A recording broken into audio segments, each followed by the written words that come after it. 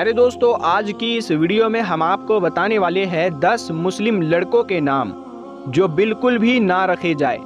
ये 10 नाम रखना गलत है, लेकिन हमें पता नहीं है, क्योंकि हम उल्मा के मजमे से, इलम वाले मजमे से दूर होने की वजह से, सुनी सुनाई और नेट से देखकर बगैर तहकीक किए, बगैर किसी मुफ्ती साहब के पास जाए, वो नाम रख लेते हैं।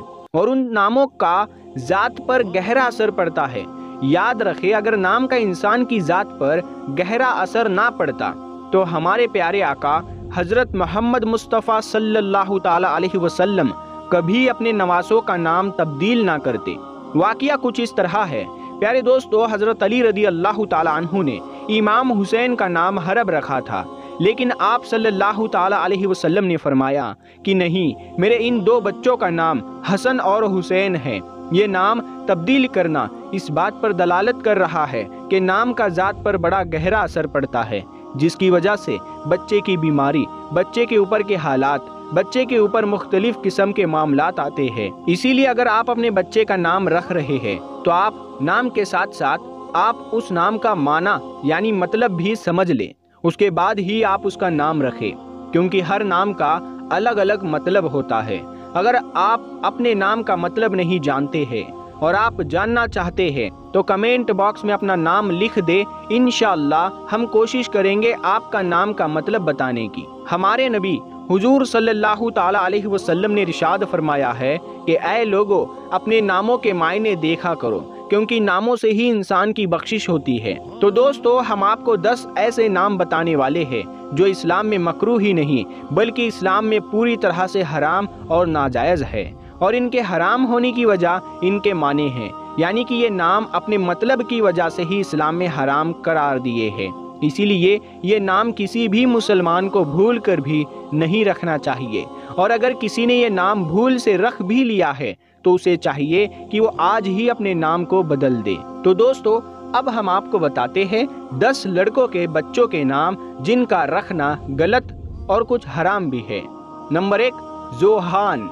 इसका मतलब नहीं मिल सका, यानी इसका कोई माना नहीं है। ये बेमाना लफज है, इसका कोई माना नहीं बनता। और एक बाप अपने बेटे का ये नाम रख दे, अब ये बताइए, कल कयामत के दिन वो इस बच्चे को क्या जवाब देगा? सिर्फ़ लफ्ज़ों की खूबसूरती या सुनने में रिच फील होता है, या नाम का ट्रेंड चल रहा हो। इस वजह से ऐसा नाम रख देना, कल कयामत के दिन आपको जवाब दे ही देनी होगी। तो जोहान नाम रखना बिल्कुल सही नहीं है। नंबर दो, आर्यान। इस नाम का अरबी ज़ुबान में कोई भी माना नहीं है। आर्यान, ये फारसी ज़ुबान का, यानी जो फारसी ज़ुबान में जो गाना गाने वाले हैं, उनका एक गिरोह है।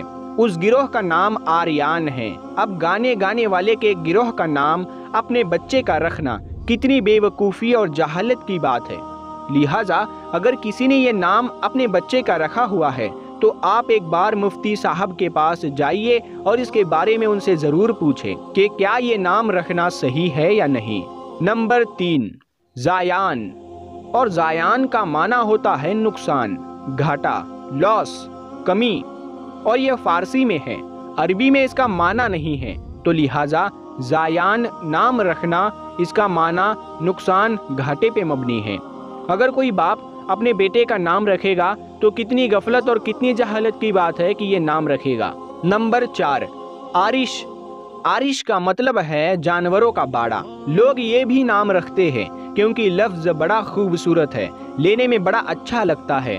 और अरबी लुगत में इसका माना बनता है जानवरों का बाड़ा।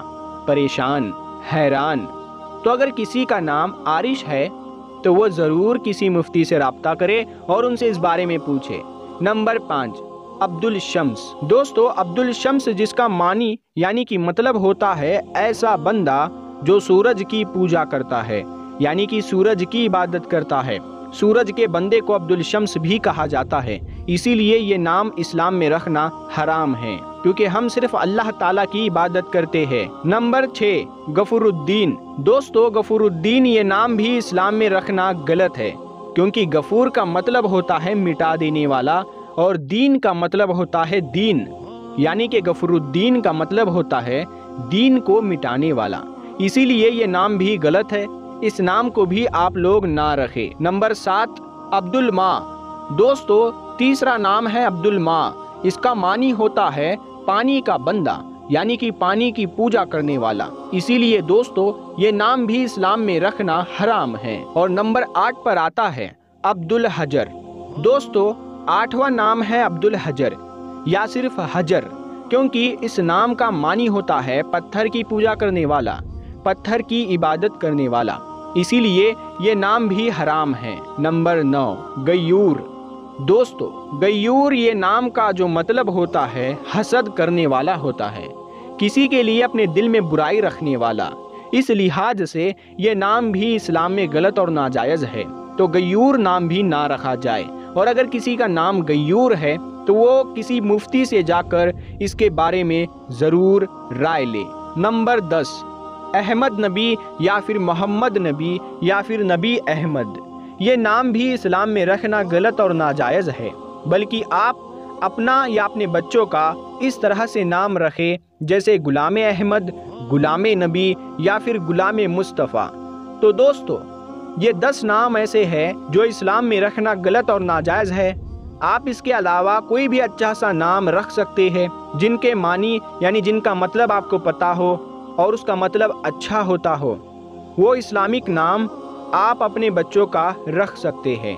दोस्तों, इंसान की शख्सियत के पीछे उसके नाम का ख़ास किरदार होता है।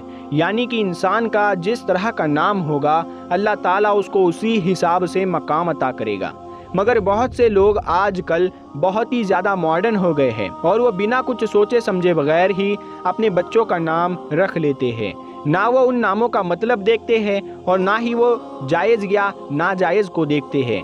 और उसके बाद वो रोना रोते हैं कि हमारा बच्चा ख़राब हो गया है, हमारा बच्चा अजीब सा हो गया है। तो किसी ड्रामे में किसी हीरो का नाम अगर पसंद आ जाए तो वो नाम रख लेते हैं। तो खुदा का खौफ खाइएगा, उस नाम का अगर आपको मतलब ही नहीं पता है, उस नाम का अगर कोई माना ही नहीं निकलता है तो ऐसा नाम आप क्यों रखते हैं? बहुत से लोग सिर्फ़ नाम इस वजह से रखते हैं क्योंकि अभी जो ट्रेंड चल रहा है, ये बहुत ही ज़्यादा चल रहा है, ये नाम बहुत फ़ेमस हो चुका है तो इस वजह से उस नाम को रख लेते हैं। तो फ़िल्म स्टारों के नाम को देखकर अपने बच्चों के नाम बिल्कुल ना रखें, क्योंकि ये बहुत ही वाहियात लोग होते हैं। इनका बाप किसी मज़हब से होता है तो इनकी माँ किसी और मज़हब से होती है, फिर वो बच्चों का नाम अपनी मर्ज़ी से रख लेते हैं। तो हम लोग जो उन्हें फॉलो करते हैं तो ये तो बड़ी बहुत शर्म की बात है, जो उन्हें फॉलो करते हैं। तो ऐसे लोग अपने बच्चों का नाम उनके नाम पर रख देते हैं। तो ये कितनी जहालत वाली बात है।